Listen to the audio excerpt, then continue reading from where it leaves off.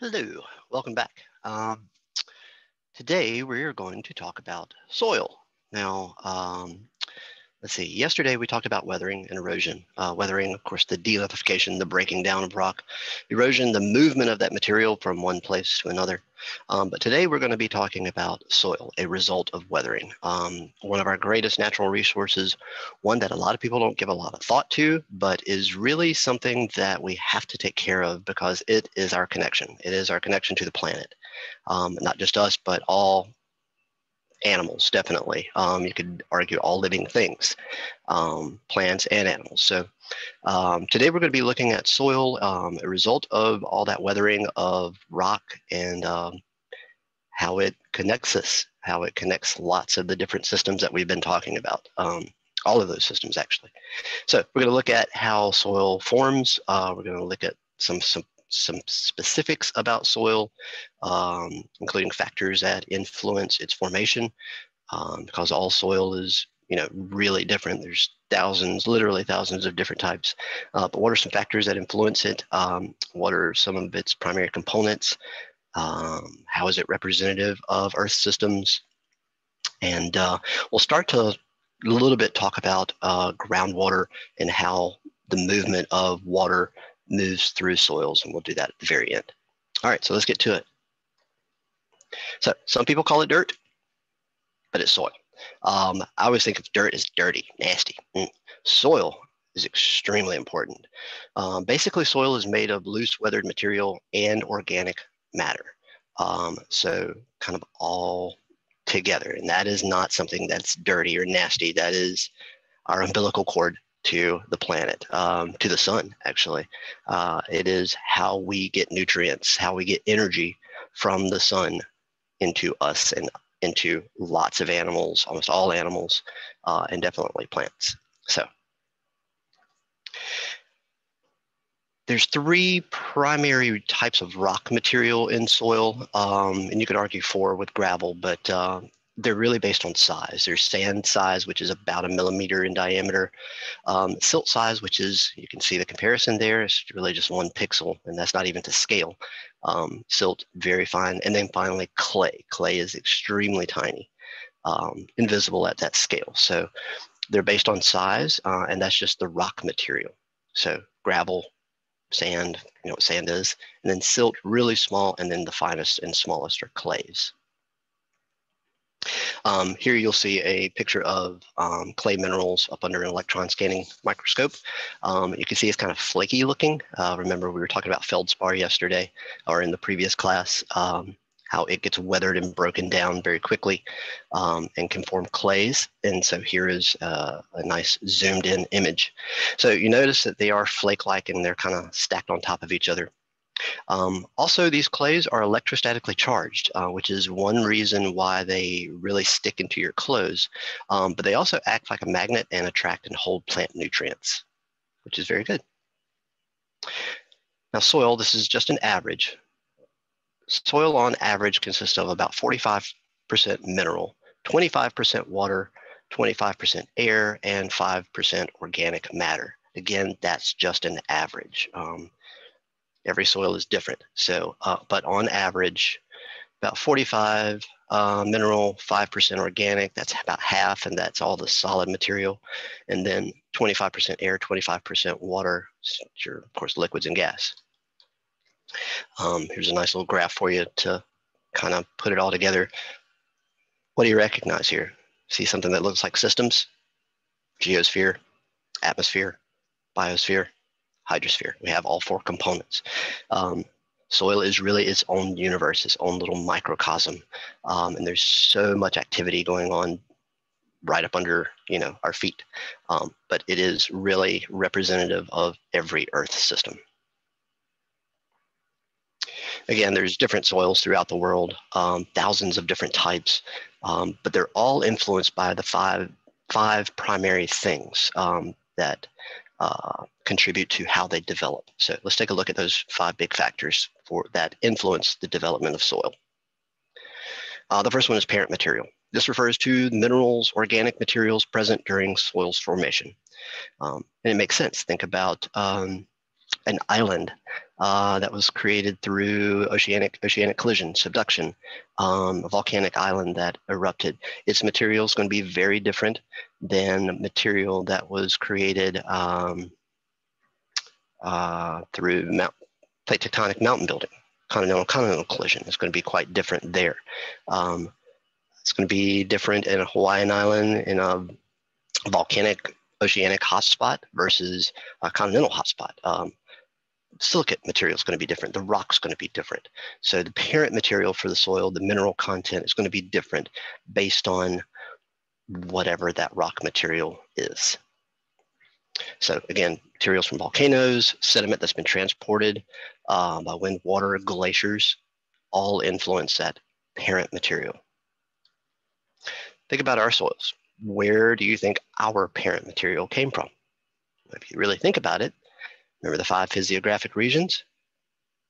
Our parent material is mainly marine sediment, um, ocean in origin, or produced by river and stream um, action, erosion, and transportation of that material from the Blue Ridge and Piedmont and deposited here. So our parent material is influenced by all of those factors. The next one, the big influencing factor is climate. Climate of a particular region can have a huge influence on the rate of soil formation and that type of soil. Um, think about a tundra, which is, you know, soil that's frozen year round versus um, in a, a, tropical region. Um, think about that tropical region versus um, that doesn't really have seasons, it's warm year round versus a deciduous forest. Um, so those climates are really going to influence that soil formation. Um, remember back to weathering. Climate has its own part to play in weathering. So um, those cycles of freezing and thawing, the wetting and drying, they all vary with region, with by climate. So um, that's going to have a huge impact on how soils form. Living things. So remember, there's organic matter in soil. Um, so both plants and animals help create that soil. So as those organisms die, that organic matter incorporates with weathered parent material and becomes part of the soil. So um, as plants and animals, they die, um, they're decomposed, they're broken down, that becomes part of the soil. What are some organisms that you can think of that might help enrich soil? Well, there's lots. I know you probably automatically think of um, fungus, mushrooms, um, but there's lots more. There's moles uh, or any burrowing creature. Remember, they can help weather stuff, uh, but those actions of moles, earthworms, um, saprophytic organisms like bacteria and fungi, which help break down organic material, roundworms, uh, those weird, very ancient organisms um, that are like even far behind the evolutionary scale of earthworms. Um, but they, all those organisms help break down and enrich the soil. The next one is topography. The slope or hilliness of a region can have a huge influence on soil, um, including moisture and erosion rates. So think about a hilly region where the water is mostly going to drain out and away versus a flat region um, that's going to hold that moisture. Um, so topography has a huge part to play. So in many regions, moist, poorly drained soils are of course located in low-lying areas, whereas in much higher areas, it's just going to drain away. Um, often found on hillsides. Erosion is a real big problem um, because it can lead to a loss of topsoil. If you lose the topsoil, the soil loses its ability loses its ability to sustain life. So in this graphic, you can see like a, a mountain is going to have almost no topsoil, if any. It's going to be exposed bedrock. Um, as you move down slope, the you'll have patchier soils um, that drain very rapidly. Could be very thin topsoil. Down in a valley, where all that water drains into, could be very thick, very moist soils. And then if you have um, uh, like a plateau, um, the water can drain very rapidly, um, but you could also have very thick soil. So it could be dry, but have this and have this region where the water just goes straight through. So again, topography has a huge part to play in soil formation. time. Soil is almost a non-renewable resource because it takes hundreds of years just to form one inch of soil from parent material, hundreds of years. Um, so if we lose that soil, if we lose that topsoil by um, over farming, by um, tilling and then weathering and erosion, wind, water, whatever, move that soil away, it's irreplaceable, at least in the short term.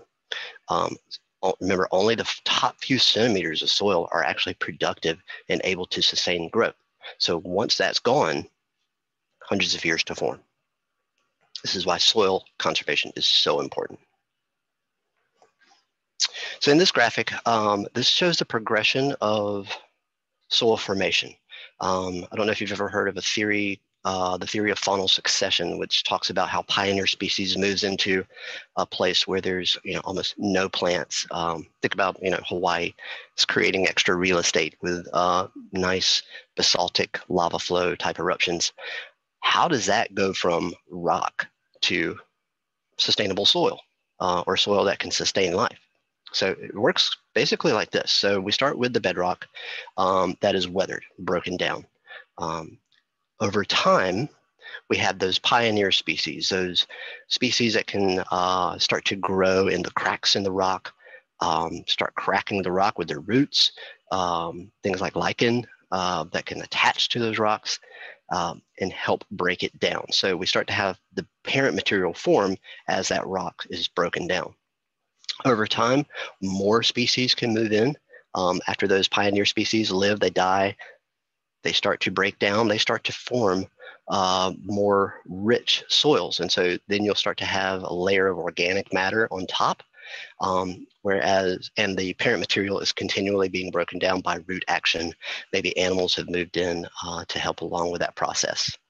And then finally, hundreds of years later, now we have some pretty thick organic uh, layers at the top mixed in with lots of minerals from the parent material and it's able to sustain uh, much larger plants and then more animals and so on and so forth. So you're moving from uh, pure bedrock that is weathered and broken down into a sustainable soil.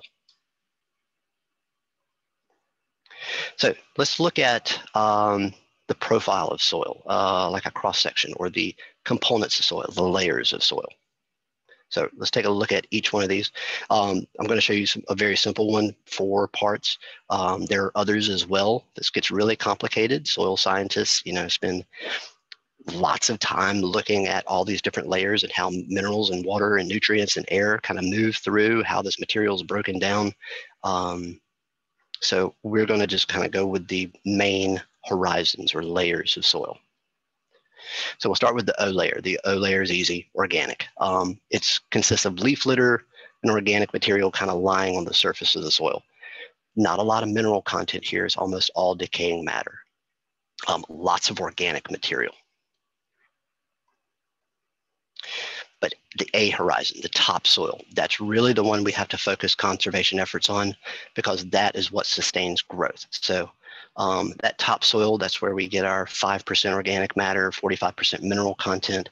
Um, it's usually loose and crumbly, has organic matter and lots of mineral content. This is the most productive layer, and that's why um, conservation efforts are really focused on that A layer.